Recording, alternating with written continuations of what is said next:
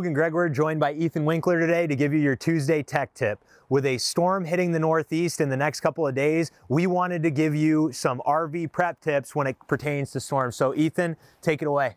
Uh, so like Logan had just said, we got a snowstorm coming and if you are a seasonal camper or just a transit camper, uh, chances are your trailer or motorhome is already winterized, tucked away and, and ready for this snow. But if you are a full-timer and you're stuck in the Northeast or even a full-timer on a seasonal campground that allows the full-time through the winter, uh, few big things that you want to get ready for. You want to make sure your awnings are rolled up. This passport right here has two uh, patio awnings, so you want to make sure that they're uh, rolled up and ready to kind of take on that snow. If you have solid steps or even your stabilizer jacks, you want to make sure that you can find uh, some blocks if you don't already have them like we have here. So a couple uh, cut up two by fours will uh, do just fine and keeping these feet off the uh, the, the, the, ground so that way those feet don't sink in, the snow covers them, and then if the temps rise and then fall, uh, you'll see ice build up on them and then they're stuck and you can't get them up. So like I said, same thing with the jacks and even the front tongue jack, you wanna make sure that you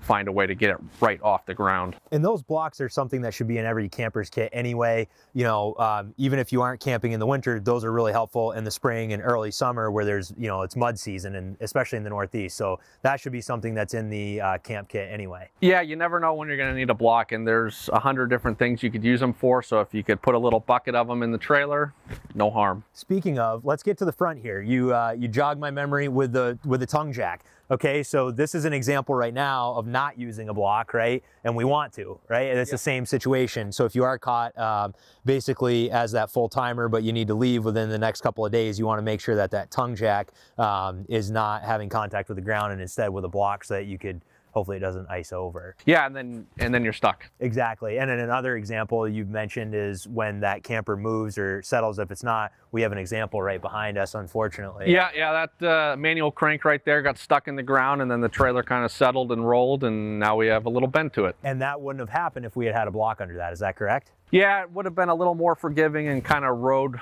the, the wood block or any kind of block that was on it and sure. wouldn't have dug in. So let's talk about the overall, uh, there's some other pieces to this, right? So windows, uh, roof vents, and even things like antennas. Talk to me about those and how those pertain so, to uh, storm prep. Windows, I know I know a lot of customers that will leave their windows open uh, just a little bit to get a breeze and you, you want to make sure that you uh, close those before the snow comes. Same thing with the vent because chances are uh, you could get a snow drift and if you're not uh, paying attention, not at the trailer, and you have either of those open, you may find a little bit of snow uh, gradually coming in. Even if it was like a car window and you leave it down, you come back in the right. morning and you have a pile of snow on your seat. So never fun. Uh, keep an eye on those and then uh, you don't see it too often now but depending on the make and model uh, in year of the uh, RV there is the crank up uh, antennas for your over-the-air TV if that's up you have the kind of the ears that hang off and you have the gears down low. So if the snow's heavy enough, you may find that